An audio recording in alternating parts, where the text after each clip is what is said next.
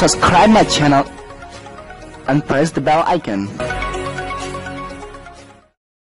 Hi friend मैं हूँ और आप देख रहे हैं बॉलीवुड ब्रेकफास्ट 15 अगस्त के दिन अक्षय कुमार की गोल मूवी बॉक्स ऑफ़िस पर काफ़ी तहलका मचाने वाली आप लोग जानते ही हैं। अक्षय कुमार इस फ़िल्म में एक हॉकी कोच की किरदार निभाने वाले हैं और मोनी राय उनकी पत्नी की किरदार निभाने वाली है। मोनी राय का बॉलीवुड में पहला फ़िल्म है।